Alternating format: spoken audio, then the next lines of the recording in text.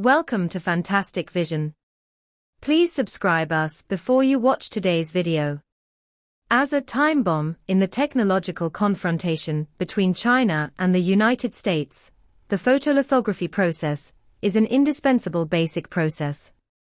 Since the United States imposed sanctions on Huawei in 2019, China has been forced to continue to use the 7 nanometer process, and the Dutch company ASML ASMAX has become the protagonist of this game. Will it become a highland of technological innovation, or a victim of geopolitics? A fierce competition has been launched around the photolithography process.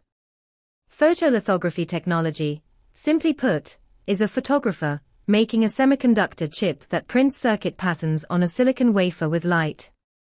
If the photolithography process is not used, the chip will become a blind man, not to mention any cutting-edge technology.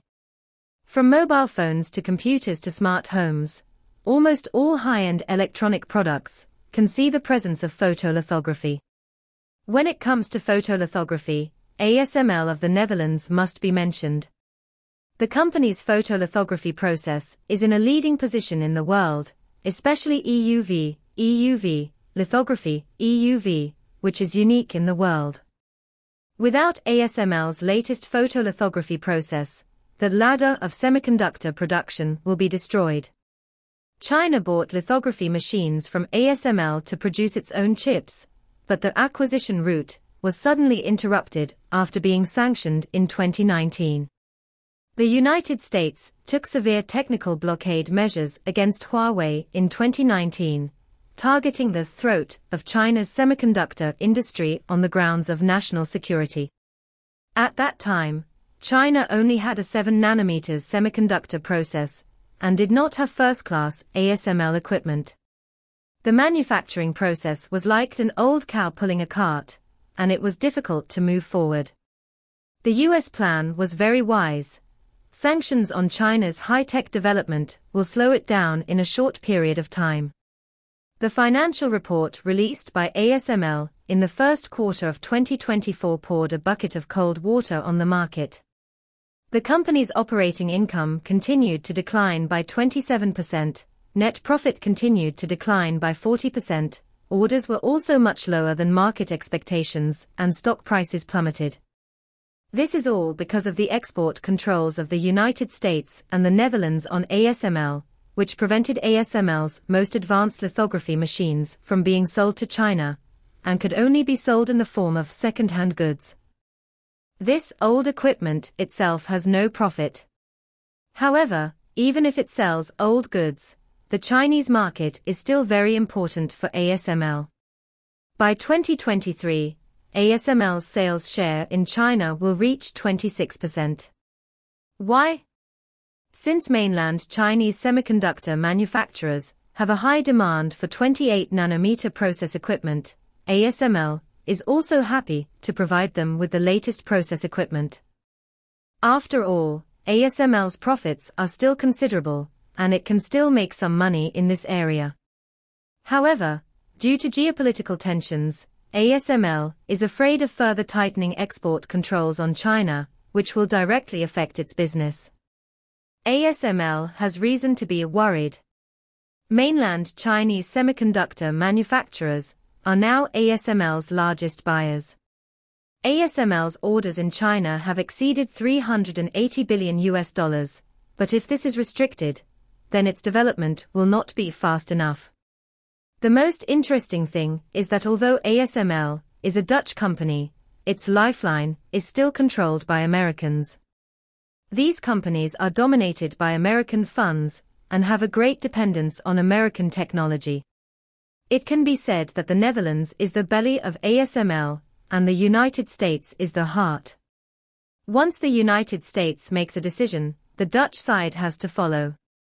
China is certainly unwilling to become a sinner when the United States imposes a technological blockade on it. Chinese technology companies and research institutions have begun to independently develop lithography processes instead of waiting.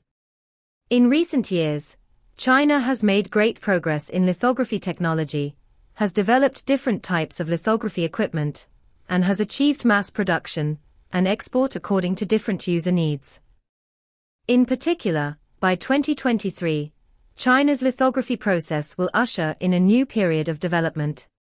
Not only has the 28 nanometers level technology been greatly improved, but there has also been great progress in more advanced process technology. China's scientific research team is catching up at an astonishing speed, although they are still a certain distance away from ASML's most advanced technology. This is a truth of going against the current, if you don't advance, you will retreat. China has achieved independent development by combining public and private methods, focusing on conquering core technologies. In order to promote the rapid development of the semiconductor industry, the government has given strong support in terms of policies and finances. Private enterprises have also discovered the huge potential of this industry and have invested in technological innovation. China's work in this regard has begun to bear fruit. Although the United States has imposed a chain-breaking technological blockade on China's chip industry, China's semiconductor industry has gradually matured and its technological level is steadily improving. At present, China's photolithography technology is no longer limited to China, but has gradually moved to all parts of the world and won the recognition of countries around the world. This situation is a huge pressure for the United States and its allies. The sanctions imposed by the United States on China were originally intended to hinder China's technological development, but now it seems to be accelerating China's own research and development. China's semiconductor industry has gotten rid of its dependence on imports and moved towards independent production. This has not only improved China's technological strength, but also improved China's competitiveness in the world. The competition between China and the United States in technology and technology will become increasingly fierce. The United States and its allies may be quickly retaliated when China's semiconductor industry makes great achievements. China's progress in science and technology will further weaken the impact of the United States technological blockade on the United States making the sanctions against China less and less severe. In the face of this new situation, the United States and its allies need to reflect on their own scientific and technological strategies and make corresponding adjustments. Independent research and development of photolithography technology is just a microcosm of China's scientific and technological development. China has shown its tenacious vitality and strong scientific research strength in this war of science and technology without gunpowder. In the future development process, China will continue to make unremitting improvements in some important scientific and technological aspects, so as to free itself from relying on foreign science and technology. The successful development of lithography technology marks China's independent development in science and technology, and marks a major change in the competitive landscape of technology between China and the United States.